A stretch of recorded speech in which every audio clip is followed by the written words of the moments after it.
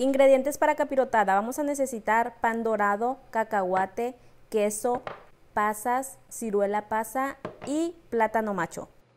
Vamos a hacer un jarabe de piloncillo. Agregamos agua en una olla, piloncillo, canela y clavo. Yo estoy utilizando clavo molido, pero tú puedes utilizar clavo entero.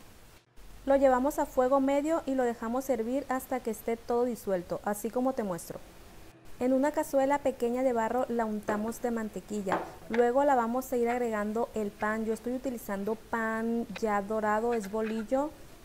Vamos a poner una capa de pan. Luego vamos a empezar a agregar ciruela pasa, pasas, cacahuate, queso y plátano macho. Luego lo vamos a cubrir con otra capa de pan y vamos a hacer el mismo procedimiento hasta terminar con todos los ingredientes. Así como te muestro paso a paso. Yo estoy preparando la capirotada tradicional que comemos aquí en Sinaloa. Se la recomiendo, es realmente deliciosa. Ya que terminamos de acomodar todos los ingredientes, lo que vamos a hacer es agregar el jarabe que preparamos anteriormente. Se lo vamos a agregar despacio y con mucho cuidado hasta terminar con él en toda la mezcla.